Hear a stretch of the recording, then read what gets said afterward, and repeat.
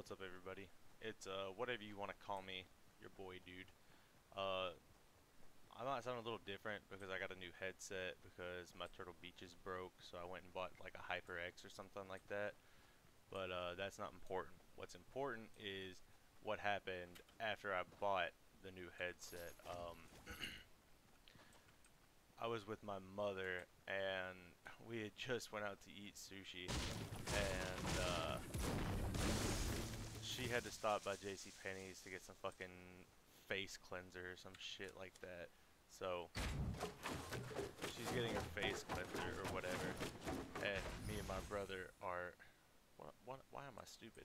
Me and my brother are walking around JC Penney's just trying to burn time, you know, shit that uh, we don't want to deal with. And uh, we're just walking around and we see a girl that we know. So I'm like, hey, insert girl's name here. And I said it really loud, and she was in Sephora also, looking at makeup and shit. And she didn't hear me.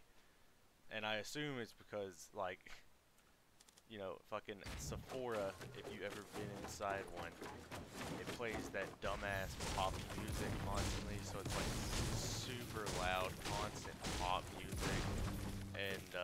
it's just a it's just a nightmare of a store for a dude to be in because like 85% makeup and then 10% men's cologne and then it's just it's just insane. I don't like the place. But we found our mom checking out and uh, we were telling her the story about how we saw this girl that uh, that we knew and how I like I basically yelled the girl's name and I was like, she just must have been in the zone, the makeup zone, getting all riled up about makeup and face cleansers and all the pop music just got her in the makeup zone. And you can tell that our uh, that the woman that was checking my mom out she was like the cashier lady. She was like she straight up looked like a feminist like the triggered um, the triggered meme where it's just that woman's face. That is what she looked like. She looked straight up like that, like nose piercing, same color hair, everything looked like it, glasses and all.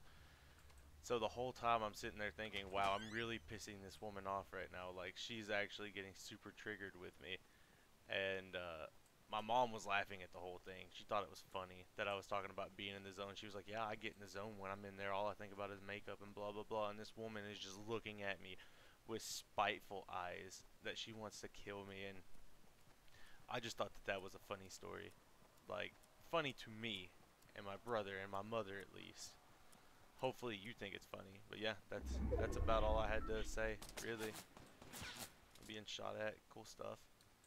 But yeah um, remember to like the video comment the video subscribe to the channel uh, share the video if you enjoyed it.